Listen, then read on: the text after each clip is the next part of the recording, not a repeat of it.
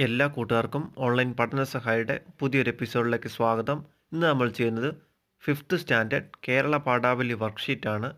വീഡിയോയിലേക്ക് നോക്കാം. ഇന്ന് വെണ്ണയുണ്ടെങ്കിൽ എന്നൊരു ചെറിയ കഥ ക്ലാസ്സിൽ പഠിച്ചു.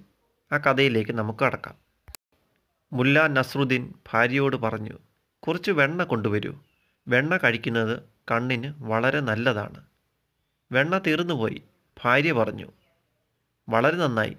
വെണ്ണ പല്ലുകൾക്കും മോണകൾക്കും നന്നല്ല. നിങ്ങളുടെ ഏത് പ്രസ്താവനയാണ് ശരിയായത്? ഭാര്യ ചോദിച്ചു. വീട്ടിൽ വെണ്ണയുണ്ടെങ്കിൽ ആദ്യത്തേതും ഇല്ലെങ്കിൽ രണ്ടാമത്തേതും മുല്ല പറഞ്ഞു.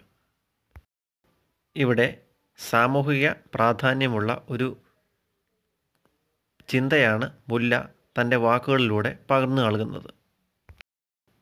കഥ നൽകുന്ന സന്ദേശം. നമുക്ക് ജീവിത ലക്ഷ്യങ്ങൾ ഉണ്ടാകണം. ആഗ്രഹങ്ങൾക്ക് പിന്നാലെ പായുന്നവരായി നാം ഒരിക്കലും മാറരുത്. സാഹചര്യങ്ങൾക്ക് അനുസരിച്ച് പെരുമാറുന്നവരായി നാം മാറണം. ഈ സന്ദേശമാണ് മുല്ല ഈ ചെറുകഥയിലൂടെ നമുക്ക് പറഞ്ഞു നൽകുന്നത്. നിത്യജീവിതത്തിൽ വീണ് കിട്ടുന്ന ചില സന്ദർഭങ്ങളിൽ ഉപയോഗിക്കുന്ന നർമ്മം സന്തോഷത്തോടൊപ്പം ചില തിരിച്ചറിവുകളും നൽകുന്നു. മുല്ലാക്കഥ വായിച്ച് ഈ അഭിപ്രായം ചർച്ച ചെയ്ത് കുറിപ്പ് തയ്യാറാക്കുക. ആനുകാലിക പ്രാധാന്യമുള്ള സാമൂഹിക ജീവിത ശൈലിയെക്കുറിച്ചുള്ള ചിന്തകളാണ് വെണ്ണയുണ്ടെങ്കിൽ എന്ന കഥയിൽ പ്രതിപാദിക്കുന്നത്. നാം എല്ലാവരും വീട്ടിലെ സാഹചര്യങ്ങൾക്കനുസരിച്ച് ജീവിക്കാൻ തയ്യാറാകണം. ജീവിത ലക്ഷ്യങ്ങൾ ഉണ്ടാകണം എന്നാൽ ആഗ്രഹങ്ങൾക്ക് പിന്നാലെ പായുന്നവരായി മാറരുത് എന്ന മുഖ്യ സന്ദേശവും ഈ കഥ നൽകുന്നു. നർമ്മം കലർന്ന വാക്കുകൾ കേൾവിക്കാരെ കൂടുതൽ ചിന്തയിലേക്ക് നയിക്കുന്നു. ഈ ചിന്തകൾ ഓരോ മനുഷ്യരിലും മാറ്റങ്ങൾക്ക് വഴിതെളിക്കും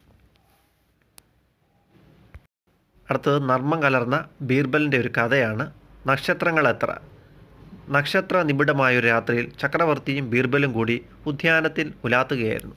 പെട്ടെന്ന് ചക്രവർത്തി ചോദിച്ചു ആകാശത്തിൽ എത്ര നക്ഷത്രങ്ങളുണ്ട്? നിങ്ങൾക്ക് കൃത്യമായി പറയാമോ ബീർബൽ? ബീർബൽ ഒന്നും ഉരിയാടിയില്ല. മറിച്ച് ഇപ്പോൾ വരാമെന്ന് പറഞ്ഞിട്ട് ബീർബൽ സ്ഥലം വിട്ടു. കുറേ കഴിഞ്ഞ് ഒരു പാത്രത്തിൽ കുറേ പയറുമണികളുമായി ബീർബൽ എത്തി എന്നിട്ട് ബീർബൽ ചക്രവർത്തിയോട് ചോദിച്ചു ഈ പാത്രത്തിൽ എത്ര പയറുമണികളുണ്ടെന്ന് അങ്ങയ്ക്ക് തിട്ടമായി പറയാൻ പറ്റുമോ?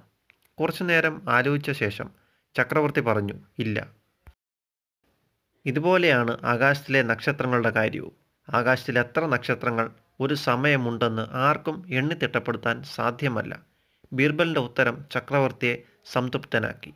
ഇതുപോലെ ഫലിതവും നർമ്മവും കലർന്ന ബീർബൽ കഥകൾ തെന്നാലി രാമൻ കഥകൾ നമ്പൂതിരി ഫലിതങ്ങൾ എന്നിവ ശേഖരിച്ച് കഥാവായന നടത്തി അവ ടീച്ചറിന് അയച്ചു കൊടുത്ത് ഡിജിറ്റൽ പതിപ്പാക്കാൻ ശ്രമിക്കുകയും ചെയ്യുക.